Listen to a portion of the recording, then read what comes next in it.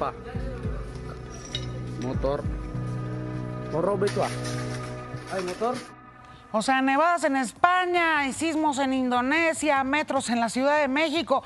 Parece que el 2021 no está siendo más benevolente con nosotros que el 2020. ¿eh? Ya son 42 muertos y 820 heridos tras este, este sismo de magnitud 6.2 ocurrido en Indonesia. Varias personas lamentablemente quedaron atrapadas bajo los escombros. Las decenas de réplicas dañaron más de 300 hogares y dos hoteles, además de arrasar con un hospital y la oficina gubernamental. Imagínense. El hospital en tiempos de COVID se vino abajo. El terremoto provocó tres deslizamientos de tierra, cortes al suministro de electricidad y daños en puentes que conectan centros eh, con centros regionales. Al menos 15 mil personas se encuentran en los albergues. Yo soy Yuriria Sierra y hoy 15 de enero, esta es la terrible imagen del día, aquí en Imagen Noticias.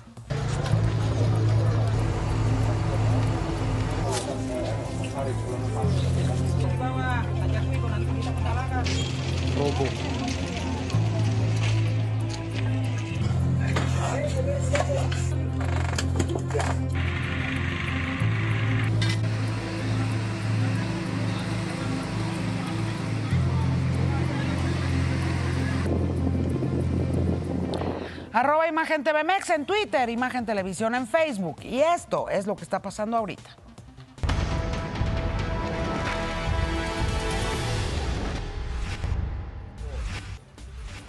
Estados Unidos podría reiniciar la investigación contra Salvador Cienfuegos, pero López Obrador respalda la exoneración del exsecretario de Defensa hecha por la FGR. Restaurantes y otras actividades reabren este lunes, en, pero solo en la Ciudad de México y únicamente al aire libre. El Valle de México seguirá en semáforo rojo. México defiende política energética tras reclamos de Estados Unidos por el TEMEC. Y serán procesados miembros del Congreso cómplices del golpe al Capitolio, advierte Nancy Pelosi. A cinco días de la inauguración, 20 mil elementos de la Guardia Nacional ya se despliegan en Washington, D.C. Chesca está de estreno. Yo voy a platicar con ella de cómo tú me querías y otros de sus éxitos. Esta chava que está triunfando con todo, con todo y pandemia, ¿eh?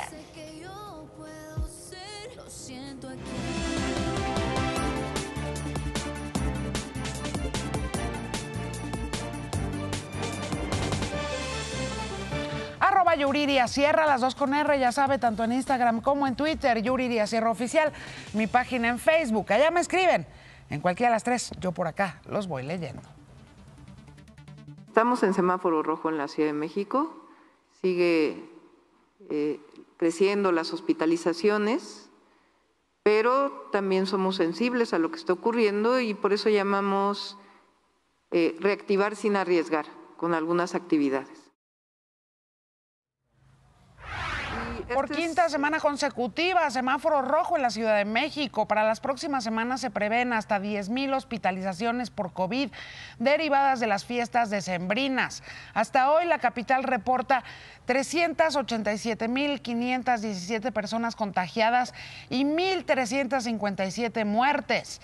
Hay más de 7.000 hospitalizaciones, lo que rebasa, por supuesto, el pico máximo. La ocupación hospitalaria es de 87.4%. Solamente hay disponibles 981 camas. Y más adelante le voy a tener todos los detalles de cómo va a operar el programa Reactivar sin arriesgar, es decir, la apertura de los restaurantes. El Estado de México también continuará en semáforo rojo por quinta semana consecutiva. La entidad reporta 84% de ocupación hospitalaria y 505 pacientes intubados, las cifras más altas en la entidad en lo que va de toda la pandemia. El gobernador refirió que se mantendrán las actividades esenciales. La única modificación es que, al igual que la Ciudad de México, permitirán el consumo de alimentos en espacios abiertos. Añadió que al día se realizan más de 15 mil pruebas y que en dos semanas esperan vacunar a todos los trabajadores de salud. Pidió a la población ser responsable y solidaria. Hemos rebasado los máximos históricos que se habían presentado en junio del año pasado. Estoy convencido que los esfuerzos que se han hecho han servido. Sin embargo, no ha sido suficiente para disminuir el ritmo de contagio y el número de personas hospitalizadas. Y México otra vez reporta récord de contagios en 24 horas con 16.468 nuevos casos. En total suman ya casi 1.600.000 casos. En el último reporte, autoridades registraron 999 fallecimientos para un total de casi 138 mil. Uf. Y aquí en la ciudad, si usted o algún familiar sospechan que tienen COVID-19, por favor tome nota de estos nuevos puntos de dónde puede realizarse la prueba. Efren Argüelles, me enlazo. Gracias Yuriria, amigos de Imagen Televisión, buenas tardes. Una cadena de supermercados se ha sumado, Yuriria, a las labores de realizar pruebas para detectar a personas COVID. Y esto está realizado aquí en la zona sur de la Ciudad de México. Señora, buenas tardes. Ha acudido a realizarse esta prueba. ¿Cuál es su nombre y qué le parece el servicio? Soy Claudia Carrasco Torres. Me parece un muy buen servicio, eh, sobre todo por el espacio. No hay casi gente. Entonces, a mí me gustó mucho el servicio. ¿Tiene algún síntoma o por qué se está realizando esta prueba? No tengo síntomas, pero eh, prefiero tener la prueba porque mi trabajo es estar en contacto con personas. Entonces, prefiero tenerla. ¿Por qué aquí y no en las carpas del gobierno? La verdad, las carpas de, del gobierno a mí sí me dan un poco de inquietud. Hay muchísima gente, si no lo tenía, siento que lo voy a adquirir ahí. Y eh, por otro lado, ellos no me dan una solución a nada, o sea, ellos me van a dar el resultado y yo me las voy a arreglar. Aquí al menos el espacio está muy amplio, como ustedes pueden observar. Sí tiene un costo, es un costo moderado. ¿Cuánto pagó? Eh, son como 489 pesos, creo, algo así. Este, y te lo entregan el mismo día. ¿Usted salió negativa o positiva? Negativa. ¿Cómo se siente ahora que tiene la prueba? Tranquila. Tranquila. Muy tranquila. ¿Me repite su nombre? Soy Claudia Carrasco. Le agradezco mucho. Hasta luego. Ahí lo tiene Yuriria. 400 pesos y pueden realizarse la prueba que únicamente tardan 30 minutos en entregar los resultados y está exactamente este supermercado ubicado sobre la calle Pilares aquí en la colonia del Valle en la alcaldía Benito Juárez. Con esto yo iría seguro, seguro todos unidos y realizándonos las pruebas con los primeros síntomas o simplemente para descartar, seguramente pronto, pronto estará cambiando el panorama, al menos aquí en la capital del país. Es la información esta tarde. Aprovecho para mandarles un fuerte abrazo. Ánimo, es viernes. Otro para ti, mi querido Fren Argüelles. Cuídate, gracias. En Guanajuato, COVID frenó a la Cruz Roja. Voy contigo, Luis Negrete, cuéntame. Yuri, buenas tardes. El servicio que presta la Cruz Roja Delegación Pénjamo fue suspendido a partir de esta semana y es que la totalidad de sus elementos resultaron positivos al COVID-19. Esta medida se tomó para evitar la propagación de esta enfermedad a la población en general. Sin embargo, el servicio que presta la Cruz Roja fue absorbido por instituciones del gobierno del estado, del municipio y de las delegaciones de la Cruz Roja de los municipios de Abasolo y de Irapuato. Escuchemos. El sistema de urgencias y emergencias del estado de Guanajuato ha eh, apoyado, asumido esa parte de la responsabilidad, tratando de solventar, solventando en su mayor parte, y si no es que en su totalidad, la necesidad que tiene la gente de, de atención prehospitalaria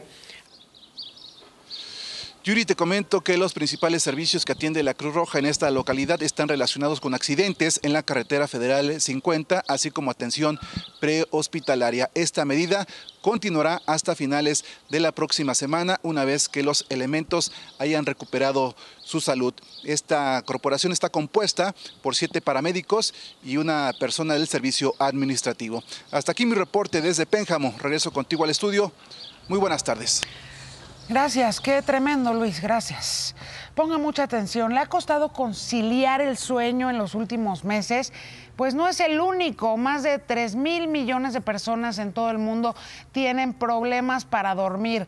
Esto es 4 de cada 10 habitantes de todo el planeta, según un estudio de la Universidad Estatal de Arizona. Y la causa es la ansiedad por la pandemia. Especialistas sugieren que fijemos una hora para dormir y que el espacio donde lo hagamos sea agradable, sin luz y con muy buena temperatura.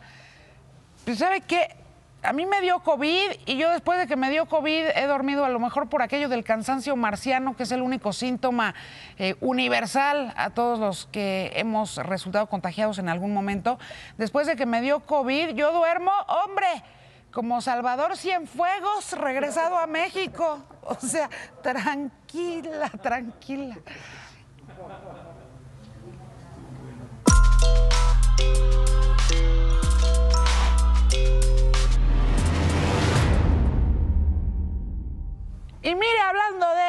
De, Salvador Cienfuegos, quizá duerma bien, duerma tranquilo ahorita, pero después quién sabe, porque Estados Unidos podría reiniciar investigación en su contra.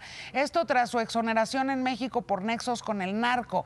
Así lo anunció el Departamento de Justicia estadounidense, luego de que la Fiscalía General de Justicia de México señaló que no encontró elementos para que el exsecretario de la Defensa tuviera contacto con miembros del crimen organizado. Agregó que tampoco se encontraron irregularidades en su declaración patrimonial que indicaran que recibió dinero de la delincuencia, como lo aseguró el gobierno estadounidense. Pero bueno, eso lo dijo ayer la FGR.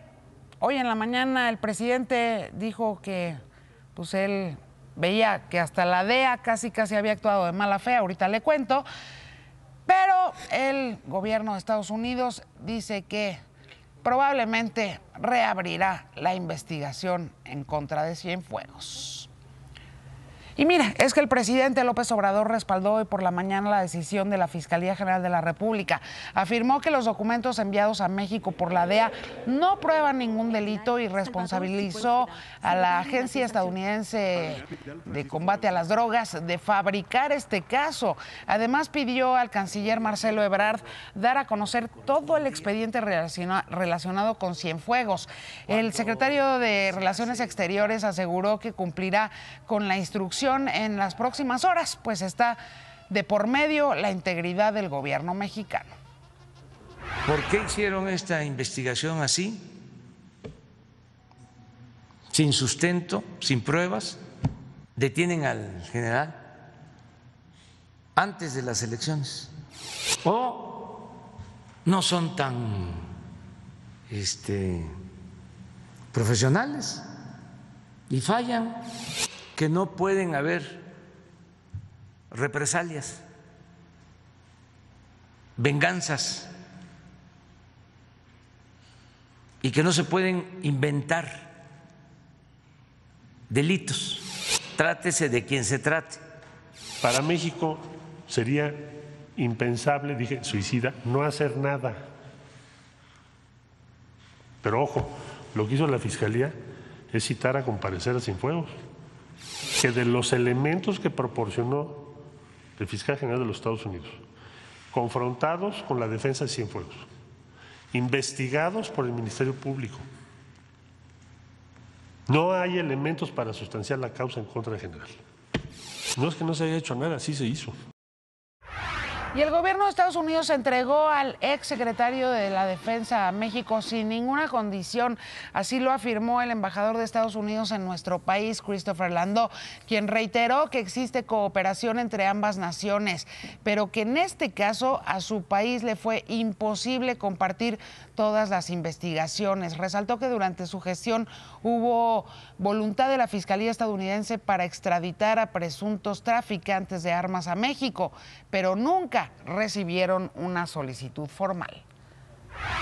Es importante decir, destacar que nosotros devolvimos al general Cienfuegos sin ah, condiciones, ah, porque el fiscal ah, revisó todo el caso y él decidió que en este caso realmente le correspondía a México en primer lugar investigar este caso. Tenemos gobiernos muy grandes, burocracias muy grandes, y de vez en cuando van a haber malentendidos entre un mismo gobierno o entre nuestros gobiernos. Y desde hoy están limitadas las competencias de los agentes de la CIA, la DEA y el FBI desplegados en México. Ahora rendirán cuentas a grupos de trabajo del país que brindan apoyo al Consejo de Seguridad Nacional. De acuerdo con lo publicado en el Diario Oficial de la Federación, las embajadas deberán informar al gobierno mexicano sobre aquellos hechos que durante las investigaciones de sus agentes puedan tener un impacto significativo en el país. Esto se da tras la aprobación de la Ley de Seguridad Nacional en el Senado.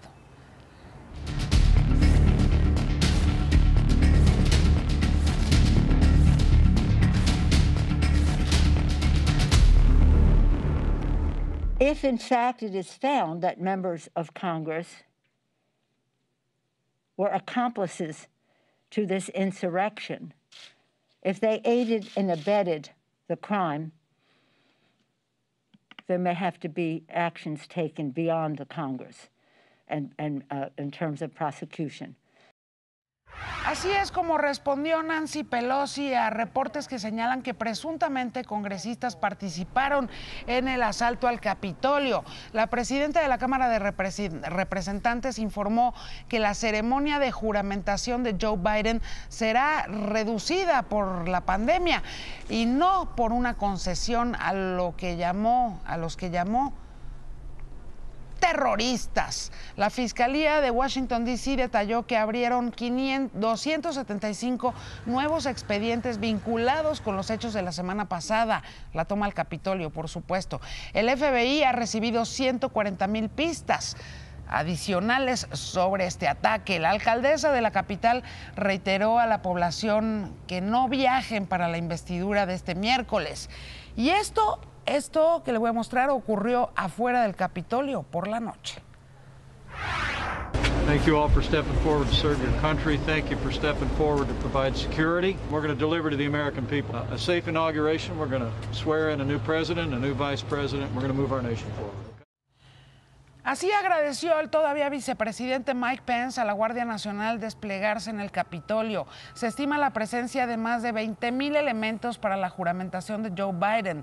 La capital estadounidense está blindada, las calles, las avenidas cercanas están cerradas a la circulación. Autoridades colocaron vallas y alambres de púas alrededor de todo el Capitolio. Al National Mall solamente se tendrá acceso eh, la prensa acreditada y seguridad, eh, personal seguridad de los asistentes. En la Casa Blanca ya empezó la mudanza. Empleados comienzan a sacar objetos de la todavía todavía familia presidencial. De acuerdo a medios estadounidenses, la noche del 19 de enero, Trump estará en Blair House, la vivienda cercana a la Casa Blanca destinada a acoger a los jefes de Estado que visitan Washington, D.C. Y Trump elige, todavía elige, mira, Rudolph Giuliani como uno de los abogados que lo defenderá en el juicio político. Como aquí le informé, él fue quien encabezó la estrategia de apelación tras la elección del 3 de noviembre. Sin embargo, un reporte del Washington Post señala que Trump ordenó la suspensión del pago a Giuliani esta semana. Y él, él es uno de los detenidos por el asalto al Capitolio. Pues se volvió muy famoso con estos cuernos, ¿cómo no? Se llama Jake Angeli. Es eh, el hombre que se vistió de bisonte y se pintó la cara y se volvió globalmente famoso por este disfraz. Ya pide indulto a Donald Trump. Según su abogado, su conducta pacífica y obediente dentro del recinto merecen el perdón. Angeli es acusado de irrumpir en un edificio restringido sin autoridad legal y de conducta desordenada en el Capitolio. Mientras tanto, Joe Biden anuncia su plan de rescate económico. Se trata de casi 2 billones, con B, 2 billones de dólares para combatir la crisis por coronavirus. El apoyo considera cheques para las familias, fondos para reabrir las escuelas, dinero para acelerar las pruebas y las vacunas contra el virus, así como recursos para las pequeñas empresas. Uno de estos negocios pertenece a una migrante mexicana con la que platicó el presidente electo. Mire, mire qué le dijo. We're going to push very hard because the single biggest driver of employment are mom and pop small businesses. They employ more people in America than the big corporations. Qué maravilla, porque en efecto, en efecto, talento mexicano y en realidad de todas las naciones eso hay muchísimo en Estados Unidos, ya que el trato sea distinto hace toda la diferencia, ¿no? ¿Irá Hurtado?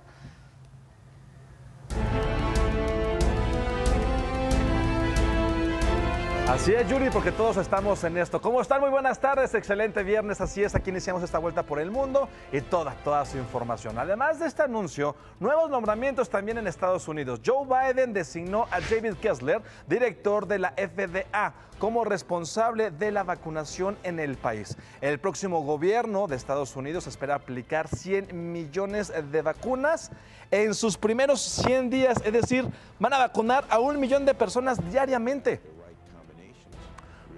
Vamos a dejar Estados Unidos, vámonos ahora hasta China. Allá Sinopharm asegura que su vacuna contra COVID-19 es segura en niños y también en adolescentes, aunque la compañía señaló, señaló que en el caso de los menores de entre 3 a 5 años, la dosis debe ser monitoreada debido a que su sistema inmunológico aún se está desarrollando. Esto es muy importante porque de no ser la primera, es de las muy pocas vacunas que han hecho pruebas en este grupo de la población, es decir, en los pequeñitos.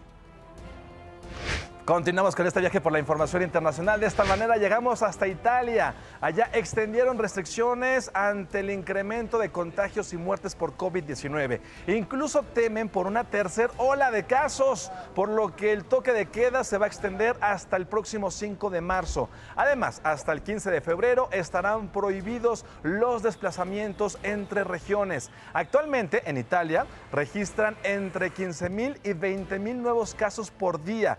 En el mundo, por cierto, vamos a revisar los números y las cifras. Vamos a ver cómo vamos. 93 millones 363 mil son los contagios de este virus y desafortunadamente también estamos a nada, a nada de llegar a los 2 millones de decesos.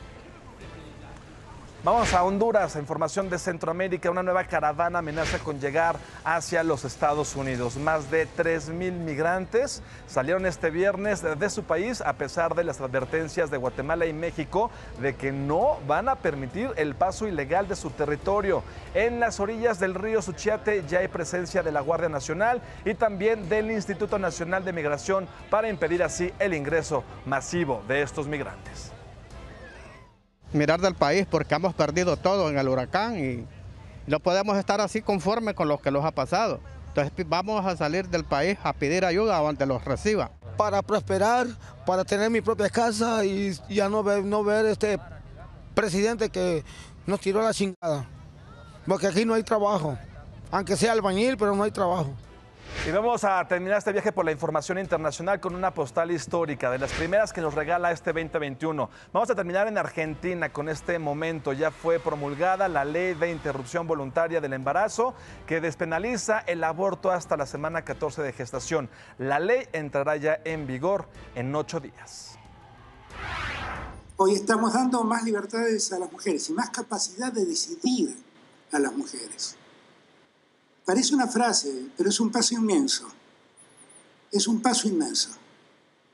Y es también el resultado, como dije antes, de una lucha colectiva, donde las mujeres tomaron la bandera, se pusieron al frente, salieron a las calles un paso inmenso allá en Argentina. Hasta aquí la información internacional, Yuri, amigos. Regresamos contigo. Si en casa están comiendo, que tengan un excelente provecho. Cuídense mucho, disfruten con mucha responsabilidad este fin de semana. Nos vemos el lunes. Gracias, Irán Murtado. Gracias, Tú sabes que yo soy eh, pues una de las principales, eh, como todas las feministas, ¿no? Que celebran la aprobación de este derecho, porque eso es, es un derecho allá en Argentina.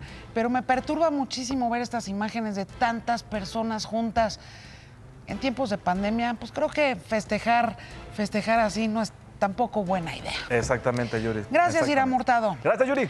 Yo voy a la pausa para regresar. ¿Cómo será la operación de los restaurantes y actividades deportivas aquí en la Ciudad de México? Ahorita le cuento.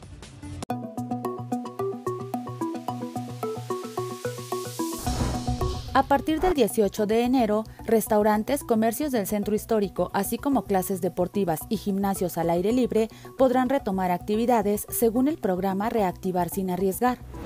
En restaurantes, el consumo será hasta las 6 de la tarde.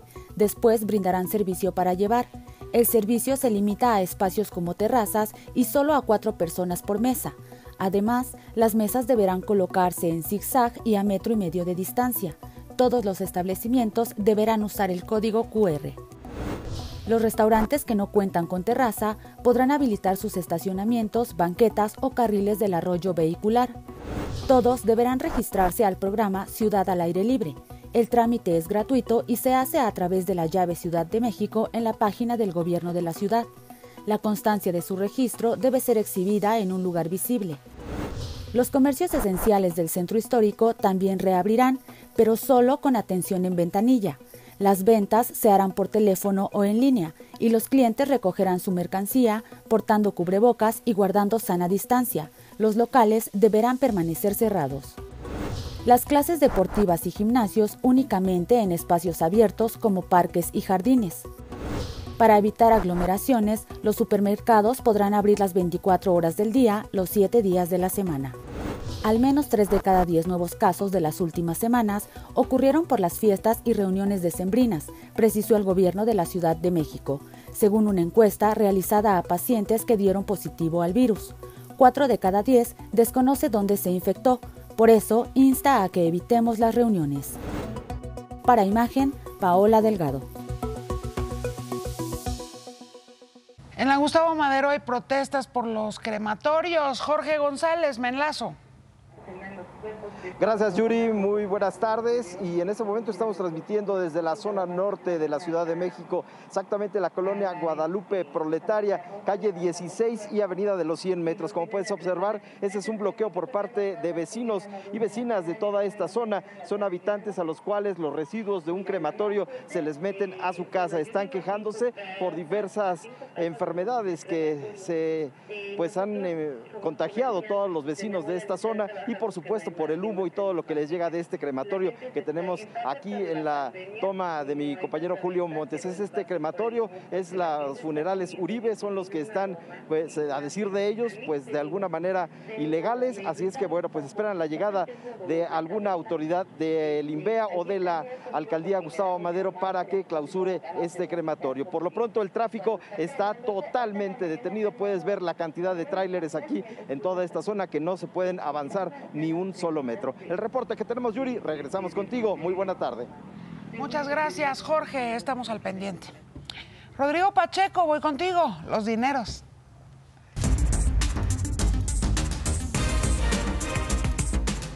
Querida Yuri, buenas tardes, buen viernes para todos los que nos ven. Y cierra la semana con una carta fechada el 11 de enero de los secretarios de Estado de Energía y de Comercio de Estados Unidos que le expresaron a sus contrapartes mexicanas sus preocupaciones por una circular y reunión mediante la cual se habría instruido a funcionarios de los órganos de energía de nuestro país bloquear acuerdos y concesiones a empresas privadas.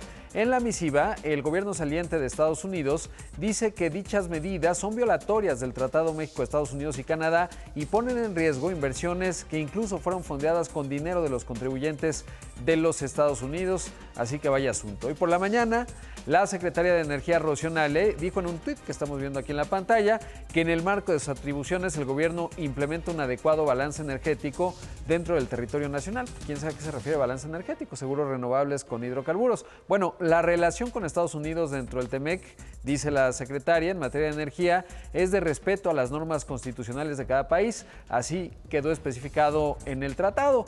Pero pues no quedó especificado que pueden bloquear inversiones que ya se realizaron, por ejemplo, en parques eólicos. Hay que recordar que Joe Biden ha colocado a la lucha en contra del cambio climático como uno de sus objetivos centrales de su gobierno. Incluso nombró al ex candidato a la presidencia John Kerry, por ejemplo, como enviado especial, por lo que verá con malos ojos las restricciones a las energías renovables y el entusiasmo petrolero y soberanista de nuestro país.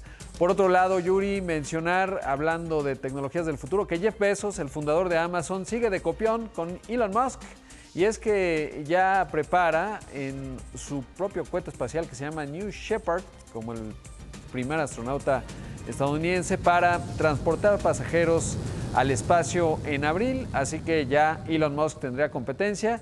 Y bueno, pues con eso cerramos la semana, querida Yuri.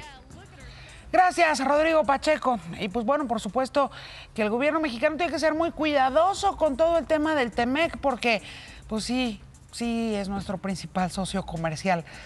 Pues todo lo que hicimos para que no nos pusieran los aranceles ahorita, ¿por qué íbamos nosotros a ser los que pongan en peligro este tratado, ¿no? Y vienen otros temas, Yuri, las autonomías que forman parte, por ejemplo, de la COFESE y el IFT están contempladas también dentro de los acuerdos internacionales de México y la autonomía del Banco de México que se va a discutir pues ya pronto, no tarda. Gracias, Rodrigo Pacheco. Gracias, Yuri. Si a usted no le gustan las nuevas políticas de privacidad de WhatsApp, hay otras opciones. Es viernes de Bitfluencer.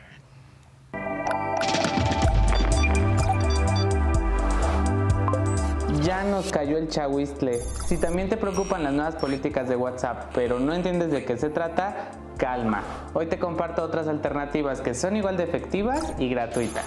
Primero, recuerda que WhatsApp es una empresa privada y necesita obtener ingresos. Eso lo hace a través de nuestros datos. Al ser gratuita, nosotros aceptamos que esta información pueda ser utilizada para crear anuncios personalizados al navegar por Internet o usar redes sociales. Lo que no comparte WhatsApp es tu ubicación, tus chats o llamadas, tus contactos ni tus fotos. Así que no eres espiado. Pero si estás buscando otra opción de mensajería, pon atención. Esta es gratuita, la puedes descargar en cualquier dispositivo y tiene interesantes herramientas para tu seguridad como autoeliminar mensajes cada 15 minutos, no permite capturas de pantalla en los chats y puedes difuminar los rostros en las fotos. Y claro, Telegram. Tan solo en la última semana registró más de 25 millones de nuevos usuarios en el mundo. Detrás de WhatsApp es el mensajero instantáneo más utilizado. Sus cualidades no tiene costo, prácticamente funciona igual que su competencia y para usarla no necesitas un número de teléfono sino un nombre de usuario. También puedes crear chats que se autodestruyen, muy útil si la conversación se subió de tono y no quieres dejar rastro. Obviamente, para usar cualquiera de estas opciones, tus contactos también deberán instalarlas, así que considera qué es lo que más te conviene para no perder comunicación, menos en estos momentos de quedarnos en casa. Soy Rodrigo Gómez. Nos vemos en el próximo Bitfluencer con más tecnología útil para la vida diaria.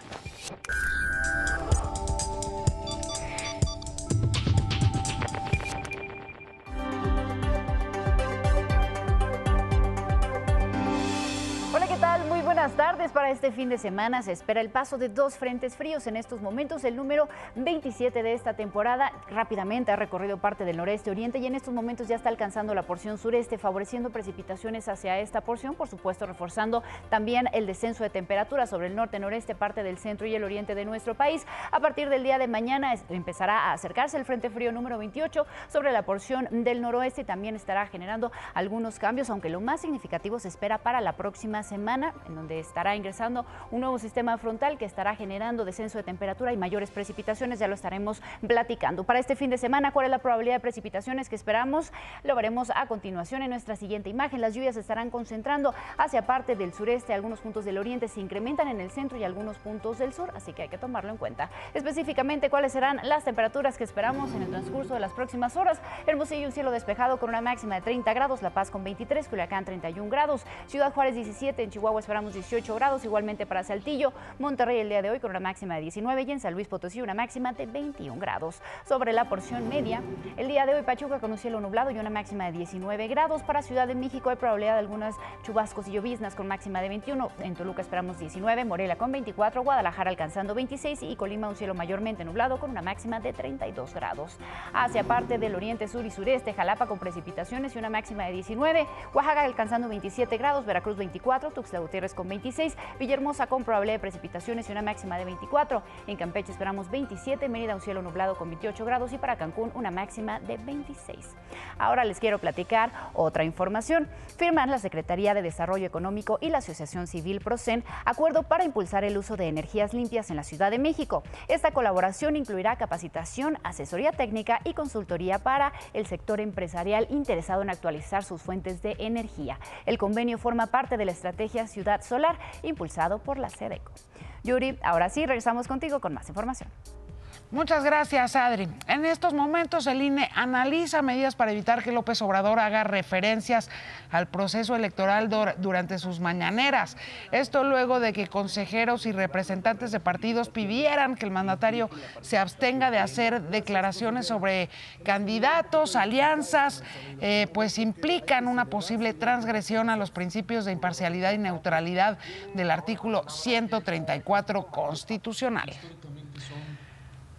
Avis, ¿qué nos van a tener de primera mano? ¿Qué tal, Yuri? Feliz viernes a todos. Hoy de primera mano, ya todos saben qué les tocó. Julián Figueroa afirma que los viernes de su papá, de los bienes de su papá, Joan Sebastián, fueron repartidos en vida. Además, en exclusiva, ¿por qué Laura Bozo y Cristian Suárez jamás llegaron al altar? Él da su versión en punto de las tres, Yuri. Bueno, pues al ratito nos platicas, Adis. Gracias. Yo voy a la pausa, pero al regresar voy a platicar con Chesca. Está de estreno. Oh. Hoy, hoy, hoy está de estreno Chesca con este video. Así es como estás recibiendo el 2021, como tú me querías. Un tema que eh, compartes con De La Ghetto y que además, pues bueno, está increíble como todo lo que hiciste a lo largo del 2020. Chesca, virtualmente aquí conmigo. Qué valiente mujer eres, porque tú dijiste, pues yo en este año, contra viento y pandemia, me lanzo al estrellato y vaya que la estás rompiendo, ¿eh? contra viento y pandemia. Así mismo, así mismo nos lanzamos de cabeza, nos tomamos el riesgo y a pesar de que sí, estamos en medio de pandemia, se han dado muchas oportunidades en, en el 2020 y ahora el 2020, 2021 venimos atacando. Oye, pero además estás grabando eh, unas rolazas y unos temas que, bueno, a mí personalmente me han fascinado. Ya llevas dos con Pitbull, que los dos están increíbles. Este, más o menos cover de, de, I Love You Baby, ¿no? Este, que es una maravilla. La verdad es que estás, eh, tienes como una sensibilidad para escoger tus temas que está increíble, Chesca. Ay, gracias. Bueno, Can't Take My Ass fue una interpolación de Frankie Valli eh, un tema muy especial para nosotros porque yo crecí pues siendo fanaticada de Frankie Valli, pues mis abuelos, mi mamá, le gustaba mucho la música de él y el poder interpolar una canción de un ícono como lo que es Frankie Valli en español y convertirla como a ese género pues urbano. Pero y sí, o sea, cuando surgió Te Quiero Baby nosotros queríamos la bendición del, del propio Frankie Valli de que íbamos a hacer una versión reggaetonera y a él le encantó, se sintió súper honorado, este, incluso gracias al tema Te Quiero Baby, puso a Frankie Valli en los charts de Billboard Latino por primera vez en su carrera, entonces pues ha sido, fue algo muy especial ese tema para todos nosotros.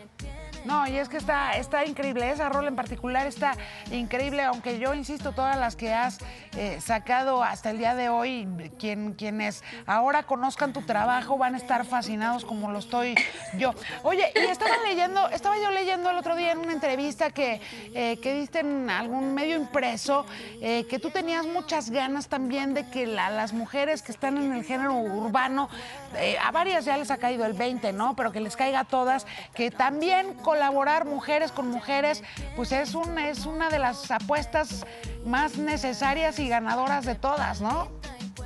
Sí, eh, yo he estado pues poniendo eso en el universo, poniendo esa energía en el universo que, que las artistas femeninas pues se hacen una más y colaboren más, porque sí, sí vemos a los íconos, la Italia colabora mucho con, con artistas femeninas y, me encantaría pues ver más a, pues a, las del género urbano, Carol G, Nati, Becky, haciendo más colaboraciones con mujeres. Creo que sería increíble. ¿Con quién te gustaría hacer una colaboración? ¿Con qué mujer, Chesca? Es que me encantan todas, la verdad. Siento que todas las artistas tienen, todas las femeninas tienen un, su, su estilo único, pero me encantaría hacer algo con Carol G. Eh, Rosalía, me encanta lo que hace Rosalía, Nati Natacha, me, me, me relaciona mucho con la historia de Nati creo que nuestra historia pues, de, de carrera y de perseverancia es muy similar. Y pues sí me encantaría, esas son my, my three top. Este, bueno, Eh, Italia que también ha estado haciendo unas cosas increíbles, ¿no? Sí, Italia incluso, o sea, ella cuando me vio cantando en los premios Lo Nuestro el año pasado con Pitbull, me envió un mensaje por Instagram y me, me felicitó, me preguntó que quién era y yo pues ahí rápido le tiré la de vamos a hacer un tema juntas. Bueno, Así pues yo ver si ojalá- ojalá te vea. Ojalá te vea pronto eh, cantando con, con alguna chava, porque todos están haciendo cosas increíbles.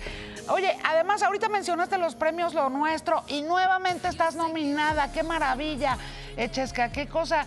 Ahora sí que este va a ser el 2020, pero también el 2021 van a ser tu año, tus años, ¿eh? Si Dios quiere, si Dios quiere, que Dios te oiga. Sí, estamos nominados para dos categorías en los premios Lo Nuestro. Es la primera vez que me nominan y es otra bendición y me siento ya pues como ganadora el estar nominada. Como artista en crecimiento, la primera vez que te nominan es como que ¡ah! No te lo puedes creer, es como la primera vez que escuchas tu canción en la radio, que es como que es surreal y ahí como que wow, eso en verdad está pasando. Oye, So- bueno, te decía ahorita, eh, en- mientras platicábamos rápido en la pausa comercial, que esta entrevista yo la voy a guardar, porque cuando seas una artista gigantesca de esas que ya, ahora sí que no, no, no regresa ni el saludo, yo voy a decir, ah, bueno, pero yo fui de las primeras en entrevistarla en México. Porque sí, sí, estoy segura- loca de poder ir al estudio, ir a México, estoy loca de ir a México. México para mí es como un segundo hogar. Y estoy loca, loca, loca de que pasemos ya esta pandemia para, para Y- poder ir allá en vivo. Cuando vengas en México, aquí te espero, Chesca. Aquí te espero, por favor, en el foro. Eh, estoy segura que vas a ser una artista extraordinaria, maravillosa y gigante.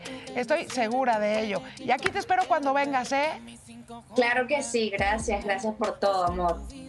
Oye, bueno, por lo pronto, a ver todos tus temas. Cuando tú me querías, ya es, hoy se estrena el video, hoy estás de estreno. Se puede ver, pues, por supuesto, en todas las plataformas y escuchar todos tus temas, que insisto, todos están buenas. En Aguascalientes, nuevamente todo está listo para que los aficionados de la Liga MX regresen a los estadios. Carla Méndez, los detalles. Hola, ¿qué tal Yuri? Muy buenas tardes. Te saludo con mucho gusto desde afuera del Estadio Victoria aquí en Aguascalientes, en donde esta noche se llevará a cabo el primer partido en Aguascalientes del torneo Guardianes de la Liga MX entre el Necaxa y el Atlético San Luis. Prácticamente pues ya se está preparando todo para esta vez recibir aficionados. Hay que decirlo, un aforo limitado del 30%, aproximadamente 7 mil personas son las que van a estar acudiendo a este estadio esta noche y bueno, para ver este partido entre Necaxa y Atlético San Luis. Entre las medidas que se van a estar tomando, se ha dicho que se estarán implementando, es el uso obligatorio de cubrebocas en la entrada, se estará tomando también la temperatura a los aficionados. Al interior se les está pidiendo que respeten los asientos que estarán bloqueados, esto para mantener la sana distancia, se estará vigilando que en los pasillos y en las escaleras no haya personas, eh, no haya aglomeraciones y bueno, comentarte que también eh, se va a prohibir la entrada a menores de 12 años de edad, entre otras medidas. Por supuesto, platicamos con algunos de los aficionados y esto fue lo que nos comentaron. un logro que venga aunque sea la mitad, pero que ya la gente pues se desentienda un poquito de lo que estamos viviendo.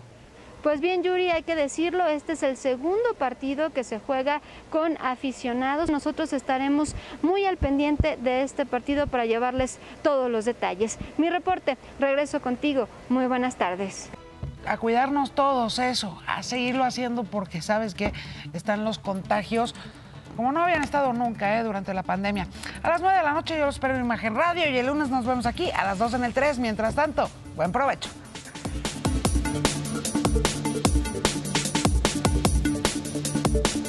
Imagen Noticias con Yuridia Sierra, lunes a viernes 2 pm. Participa en Imagen Televisión.